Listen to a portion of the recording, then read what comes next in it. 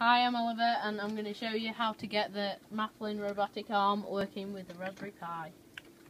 I'll just log in.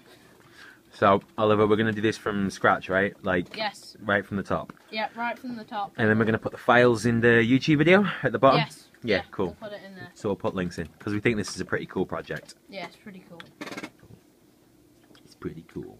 Right, so talk us through it. What, what do we actually need to get? What, what parts do we need right. before we well, start? there's the you need the libraries to run the. You need the program to run it. Right, You need the libraries that are required to run the program, yeah. and you need yeah, and in within the libraries there's a setup um, file, and you need to run that. Okay, so this is kind of make more sense when we see Yeah, it, yeah. right? So firstly, I'll just right. So here's my uh, stick with the files on. So I'll just copy them over there. Oh, Okay, so that folder should, yeah, you've already got it Yeah. in there. um, Cool. where is it? There. So in there, I've Oops. got this one. Right. So there's the file that we need. Alright, So if we go on the LX terminal, so anybody watching the video should be able to just copy them across Oh, from yeah. the USB stick. uh-huh, And then the LX terminal, you, that should be on your desktop anyway. Yep. And we go ls.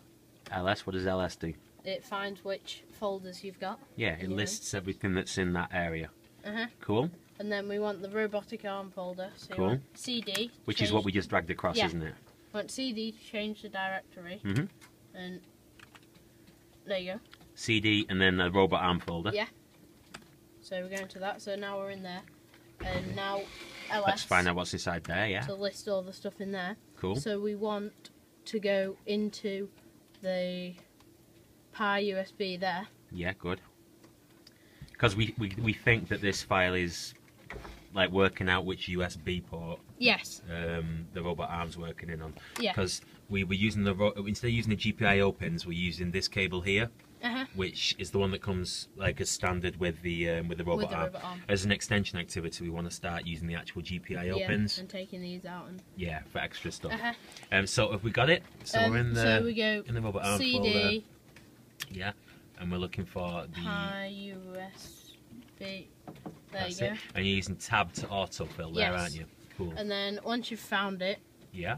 you go sudo Mhm. python oh, python setup.py which is the folder which is the program they want to Wait, wait, we have an ls to find out that it's in there. oh no Yeah, okay. Just because we want everyone watching the video to understand what's going on. yeah yeah So we're in this um, CD uh, USB folder, and if we press L, if we type ls, so there's the program we want to run that's setup setup.py. Cool. so you go sudo What does uh, sudo do? um it's like the overrun command so Yeah. you make, lets you do more Or stuff. like yeah, like Yeah. it makes you admin, doesn't it? Really? Yeah. So sudo sudo python hmm setup.py Cool. install. Cool. So and when you press You enter, run that, it kind of does all its business, doesn't it? yeah, then? all this stuff, and then you want to sudo idle three And to that's open gonna yeah, idle three. that's gonna open like idle like it normally would be, but as admin. Yeah, as admin, so you can yeah. Cool. Which you may have had to do if you're making uh, LEDs blink and things like that, Yeah, yeah. because it's the same type of a dealio. There's that So idle just- window, and we're going to open up. So we go file open. So in the same folder that we pulled in from the stick. Yeah. Yeah. Uh, if we go back it up. should be yeah there it robotarm.py. Right. Cool.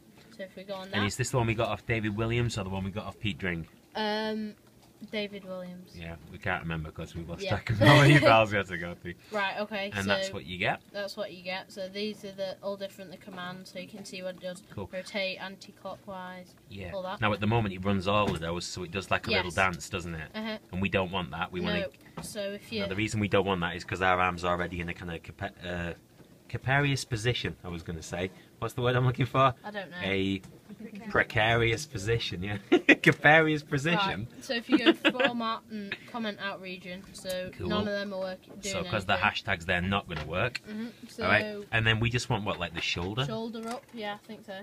So if you So we're just looking in the comment and we're finding the one that says yeah shoulder, shoulder, up. up there. We're uncommenting that, Mhm. and then you're going with one sixty And four then- zero zero. Yeah. So if you change that to say two, That'll change the duration of how long it moves for. Okay, let's have a look at so this then. let's run this. And in theory, a successful robot arm.